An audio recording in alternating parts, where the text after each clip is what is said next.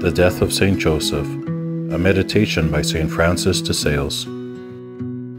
Saint Joseph, who had loved so much in his life, could not die but of love, and having already performed the duty which was required in the childhood of Jesus, what remained was that he should say to the Son, O my Lord, I pray thee to remember that when thou camest from heaven to earth, and that as soon as thou wast born, I received thee into my arms. When thou dost depart for heaven, take me with thee.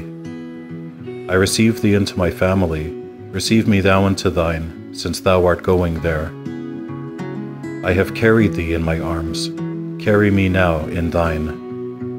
And as I took care to support and guide thee during the course of thy mortal life, do thou take care of me, and guide me to life eternal.